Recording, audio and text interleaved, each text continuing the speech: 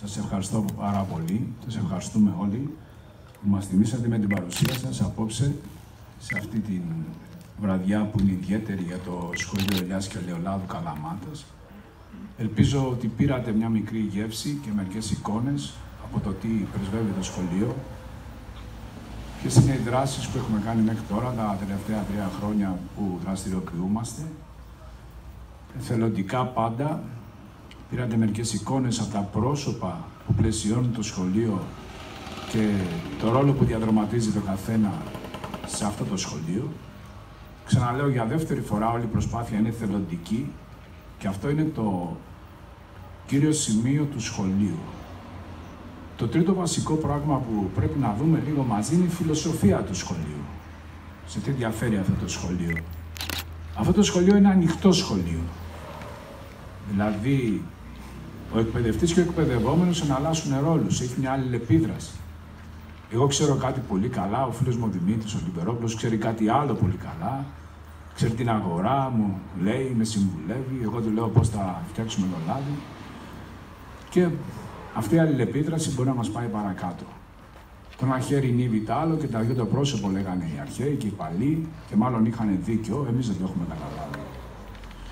Άρα λοιπόν η φιλοσοφία του σχολείου είναι ένα ανοιχτό σχολείο, άρα το μοντέλο της αυθεντίας κατά τη γνώμη μας καταργείται. Τους χρειαζόμαστε όλους, τους μικρούς, τους πολύ μικρούς, τους μεγάλους, τους πολύ μεγάλους με την τεράστια εμπειρία, για να μπορέσουμε να πάμε το προϊόν παρακάτω. Έτσι λοιπόν εμείς βλέπουμε το σχολείο.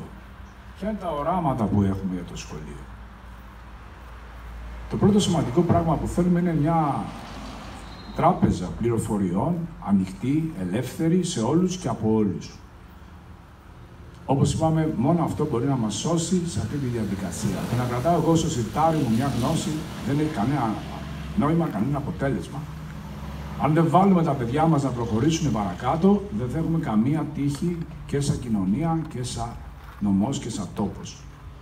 Άρα λοιπόν θέλουμε μια πρόσβαση σε γνώση και σε είτε επιστημονική είτε σε εμπειρία. Το δεύτερο μεγάλο όραμα που έχουμε είναι να ενθαρρύνουμε τα όποια κανάλια επικοινωνίας υπάρχουν και να δημιουργήσουμε καινούρια με ανθρώπους που μοιράζονται με εμάς τις ίδιες σκέψεις, είναι γειτονές μας, είναι λάκωνες, οι ύλοι.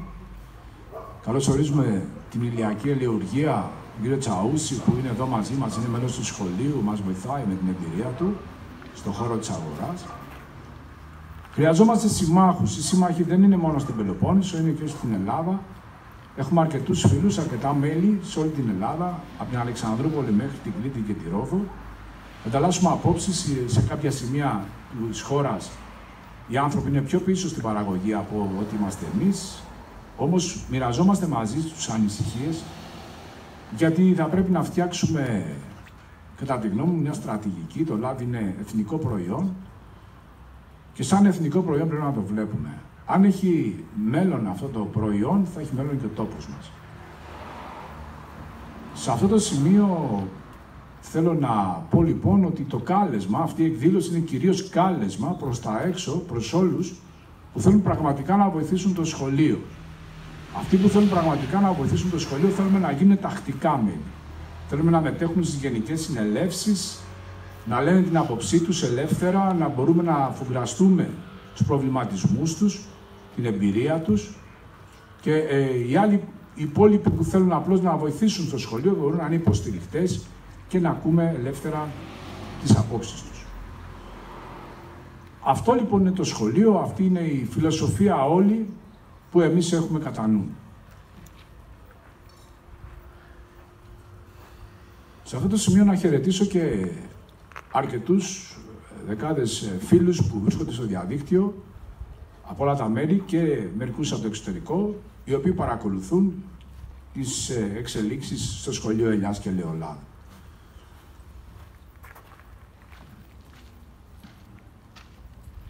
Θα αρχίσω τις ευχαριστίες γιατί σε μια τέτοια δράση εθελοντική, όπως καταλαβαίνετε αυτοί που προσφέρουν είναι πάρα πολλοί και μόνο ευχαριστίες μπορούν να πάρουν στο τέλος. Θα ξεκινήσω πρώτα από τα δύο ιδρυτικά μέλη, τον κύριο Παρασκευόπουλο, ο οποίος θα πάρει αμέσως μετά από μένα το λόγο για ένα χαιρετισμό και για ό,τι άλλο θέλει να μας πει. Πάντα τον ακούμε με προσοχή. Είναι ένας σοφός άνθρωπος κατά τη γνώμη μου στη γειτονιά μας και πρέπει να τον ακούμε. Τον Άρη του Παπα-Νικολάου, από τη Δαόκου Μεσσηνίας, επίσης συνειδητής και συνοδοιπόρος σε αυτή την προσπάθεια. Θα ευχαριστήσω όλα τα μέλη του Διοικητικού Συμβουλίου, αυτού του πρώτου Διοικητικού Συμβουλίου του, του, του Σχολείου Ελιάς και Λεωλάδου Καλαμάτας. Θα ευχαριστήσω τα πρώτα μέλη του σχολείου στην προηγούμενη συνάντηση που κάναμε, τους συνεταιριστές, τους μεγάλους, τους δυνατούς, τους ανθρώπους που μας λένε απλόχερα τη γνώμη τους για τα πράγματα. Θα ευχαριστήσω τον Γιώργο τον Κουτέλα. Ξεκινήσαμε μαζί το σχολείο. Δεν ήμουν μόνος μου. Θα συνεχίσω να ευχαριστώ αρκετό κόσμο ακόμα. Θα ευχαριστήσω τη CDI που έχει την αναλάβει την διοργάνωση αυτή και τον Γιάννη τον Μητρόπουλο προσωπικά. Θα ευχαριστήσω τον Βασίλη τον Νικολαίδη, το Λάδι Βιώσας, ένας σπουδαίο μηχανικό, ο οποίος έχει ερωτευτεί το ελαιόλαδο και φτιάχνει τα δικά του λάδια στο Χαλβάτσου, με σοβαρές επιτυχίες, τον οποίο βασανίζουμε τα τελευταία τρία χρόνια στο διαδικτυακό κομμάτι και στην τεχνογνωσία, δεν την έχουμε με τίποτα. Τον ερωτάμε τα αυτονόητα, τρελαίνεται, αλλά είναι εκεί, πάντα μας βοηθάει, είναι στη, στη θέση του. Τον Παναγιώτη τον Μητρόπουλο θα τον ευχαριστήσω εγώ προσωπικά γιατί αφού του πάω τα νεύρα με την αγραμματοσύνη μου, την τεχνολογική, πάντα θα μου δώσει μια λύση στο τέλος και θα είναι από μηχανής Θεός. Τέλος, ε, θα ευχαριστήσω όλους εσάς που ήρθατε και ειδικά αυτούς που ήρθαν από μακριά, που έκαναν τον κόπο να ταξιδέψουν, να είναι μαζί μας απόψε. Και στο τέλος θα μείνει να ευχαριστήσω τους δασκάλους μας. Είναι πάρα πολύ σημαντικό ό,τι κάνει ο άνθρωπος να αναγνωρίζει αυτούς που του δώσανε κάποια φώτα. Το πρώτο κομμάτι σε αυτή την ιστορία για όλους εμάς, τους περισσότερους από εμάς από όσους βλέπω, είναι η κυρία Χριστοπούλου, η Έφη και η κυρία Λαζαράκη. Είναι γνωστές γευσινόστριες, έχουν μάθει πολύ κόσμο. Το πρότυπο του λαδιού είναι πολύ σημαντικό αυτό. Στη συνέχεια θα ευχαριστήσω τον κύριο Πανάγου, το στάθη καθηγητή στο Γεωπολικό.